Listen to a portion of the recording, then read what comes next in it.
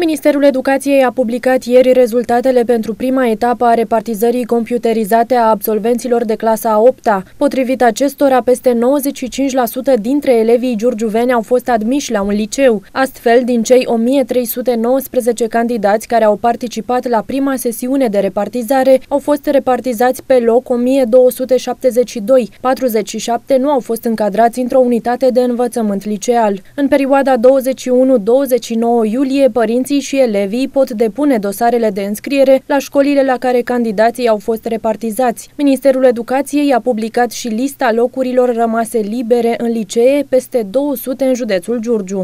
Pentru etapa a doua de admitere sunt încă locuri libere la Colegiul Național Ion Maiorescu două locuri, la Liceul Teoretic Tudor Vianu 18 locuri, tot 18 la Liceul Teoretic Nicolae Cartojan,